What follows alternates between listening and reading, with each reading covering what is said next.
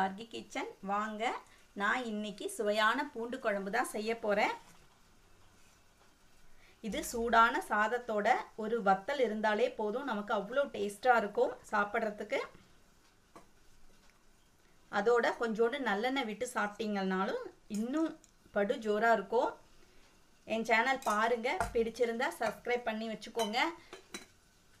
வாங்க அது எப்படி செய்யறதுன்னு பார்க்கலாம். இப்போ நான் கடாய் போட்டிருக்கேன். கடாய் ஒன்று சூடாகட்டும். அதில் நம்ம நல்லெண்ணெய் விட்டுக்கலாம்.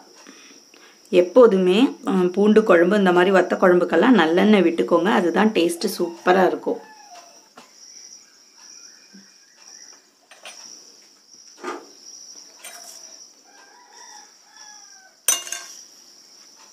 நான் ஒரு ஸ்பூன் கிட்ட கடுகு போட்டுக்கிறேன். ஒரு கால் டீஸ்பூன் வெந்தயம் அதே மாதிரி கால் டீஸ்பூன் ஜீரகம். இதெல்லாம் நல்லா ஒன்று பொரியட்டும். கடுகு வெந்தயம் ஜீரகம்லாம் பொரிய ஆரம்பிக்கும் போதே இது தாளிப்பு வடகம் வெங்காய வடகம் எப்படி வேணால் சொல்லலாம். அதை அப்போவே சேர்த்துக்கலாம்.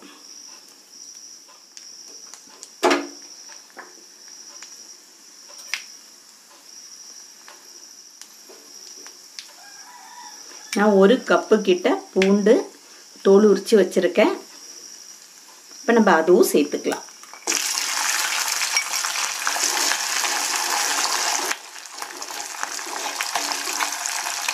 இப்போ இந்த அளவு கருவேப்பிலை.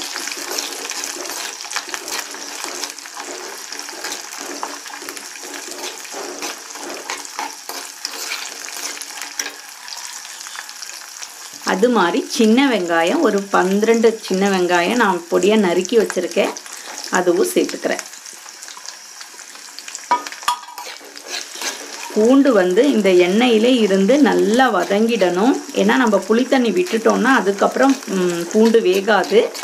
அதனால இதுலேயே இருக்கட்டும். அதுக்கப்புறம் நம்ம தக்காளி சேர்க்கலாம்.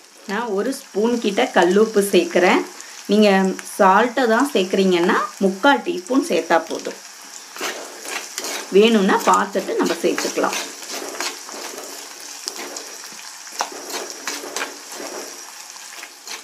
நம்ம போட்ட பூண்டு நல்லா வதங்கிடுச்சு. எப்போதுமே இந்த மாதிரி குழம்புக்கெல்லாம் சின்ன வெங்காயம் யூஸ் பண்ண பாருங்க. பெரிய வெங்காயம் போட்டோம்னா ஒரு திதிப்பு வரும். இப்போ நான் ஒரு தக்காளி நாட்டு தக்காளி கட் பண்ணி வச்சுருக்கேன். அதை சேர்த்துக்கிறேன்.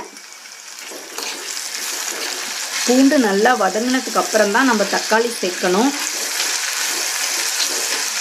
இப்போ இந்த தக்காளியும் நல்லா குழஞ்சி வேகட்டும்.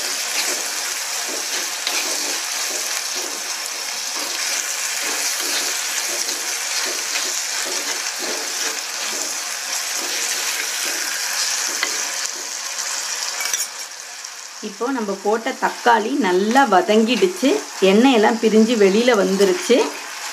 இந்த ஸ்டேஜில் கால் டீஸ்பூன் மஞ்சள் தூள். என்னோடய சாம்பார் பொடி வந்து கொஞ்சம் காரம் கம்மியாக இருக்குது அதனால நான் தனி மிளகாய்த்தூள் ரெண்டு ஸ்பூன் கிட்ட சேர்த்துக்கிறேன். ரெண்டு ஸ்பூன் சாம்பார் பொடி. அதுவும் போட்டு நம்ம போட்ட மசாலா வந்து எண்ணெயிலே இருந்து வெந்து எண்ணெய் பிரியணும். அதுக்கப்புறம் தான் நம்ம புளி தண்ணி சேர்க்கணும்.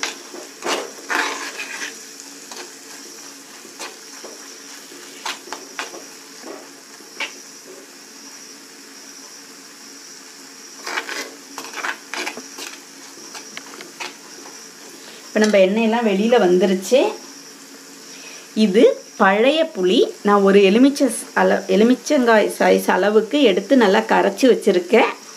பழைய புளியே வத்த குழம்பு இந்த மாதிரி புளிக்குழம்பு பூண்டு குழம்புக்கெல்லாம் யூஸ் பண்ணினீங்கன்னா டேஸ்ட்டு சூப்பராக இருக்கும்.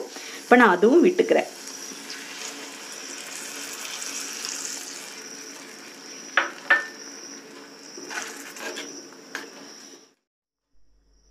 இந்த அளவும் கூடி நான் வாட்டர் சேர்த்துக்கிறேன்.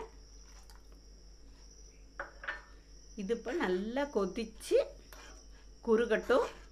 இப்போ இந்த ஸ்டேஜில் நீங்கள் மூடி வைக்கிறதா இருந்தால் நம்ம மூடி வைக்கலாம். மூடி வைக்காமல் செஞ்சோன்னா குழம்பு கடைசி வரைக்கும் மூடி வைக்காமல் தான் நம்ம செய்யணும். நான் இப்போ மூடி வைக்க போகிறேன் நல்லா வெந்து கொதிச்சோன்னு நம்ம பார்க்கலாம். இப்போது நம்ம குழம்பு ஒரு பத்து நிமிஷம் கிட்ட ஆயிடுச்சு.